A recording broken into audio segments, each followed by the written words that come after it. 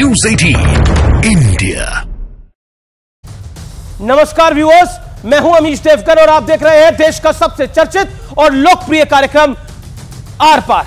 विपक्ष की much awaited multi starrer सियासी फ़िल्म का ट्रेलर दिखना शुरू हो गया है व्यूअर्स और इसकी पहली झलक दिखी उत्तर प्रदेश में जहाँ 2017 के बाद पहली बार राहुल गांधी और रा, अखिलेश यादव की जोड़ी यूपी की सड़कों पर उतरी, यानी दो लड़के यूपी की सड़क पर। और 2024 में बीजेपी को हराने का दावा कर दिया। इसी बीच उत्तर प्रदेश, बिहार और दिल्ली के बाद जम्मू कश्मीर से भी विपक्षी गठबंधन के लिए एक गुड न्यूज़ आ गई। सूत्रों का कहना है कि कांग्रेस पीडीपी और नेशनल कांग्रेस कॉन्फ्रेंस के बीच में सीट शेयरिंग की डील पक्की हो गई है। और इसी हफ़्ते इसका ऑफिशियल अनाउंसमेंट भी कर दिया जाएगा। यानी विपक्ष की फ़िल्म में पूरब से पश्चिम तक और उत्तर से दक्षिण दक्षिण तक कई पॉलिटिकल स्टार जुड़ गए हैं। लेकिन बड़ा प्रश्न यह है कि जनता जनार्दन के बॉक्स ऑफ़िस पर यह फ़िल्म कितनी धूम मचाएगी? और इसे लेकर कई सवाल भी उठ रहे हैं, क्योंकि इस गठबंधन में कुछ दल ऐसे हैं जो एक या दो नहीं, बल्कि कई चुनावों में लगातार मुँह की खा रहे हैं। तो आज इसी मुद्दे पर होगी देश की सबसे बड़ी पॉलिटिकल बहस, विपक्षी विपक्ष की यारी कौन किस पर भारी? आज का आर पार इसी पर व्यूअर्स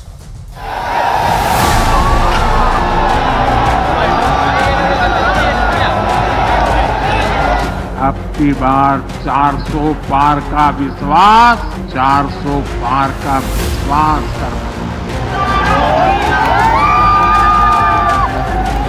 इसे आप सियासी सीक्वल वाली फ़िल्म कह सकते हैं क्योंकि 2017 में दो लड़कों की जोड़ी का पार्ट वन दिखा था। हालाँकि तब ये सुपर फ्लॉप साबित हुआ था।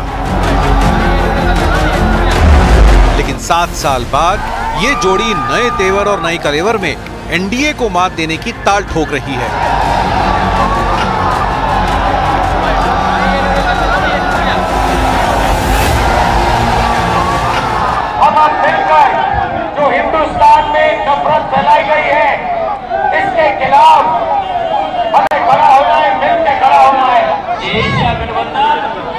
और पीडीए की लड़ाई एनडीए को हराने का काम करेगी।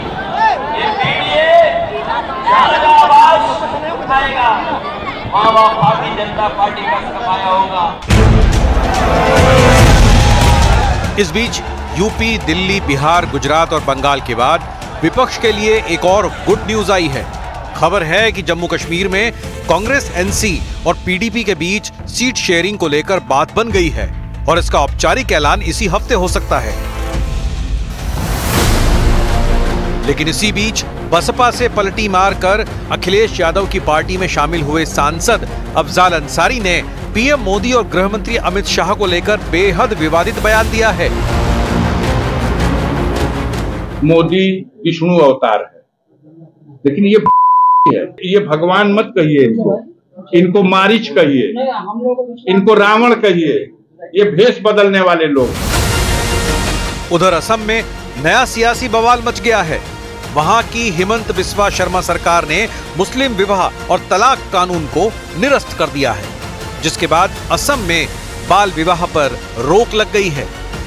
बीजेपी की सरकार जो है उनको मुसलमानों से नफरत है। टोटल मुसलमान विरोध सरकार है पहले ट्रिपल तलाक का लेकर आ गए अब ये मैरिजेस का लेकर आ गए। इनको किसी भी तरह से हमारी शरीयत के अंदर मदाखिलत करना है। ये हम बर्दाश्त नहीं करेंगे ये ये किसी एक धर्म विशेष लोगों पे अटैक है। सिर्फ़ सामने इलेक्शन है किसी एक कम्युनिटी को टारगेट करके दूसरे कम्युनिटी को खुश करके इनको इलेक्शन का बैतरनी पार होना ये इनका मकसद है।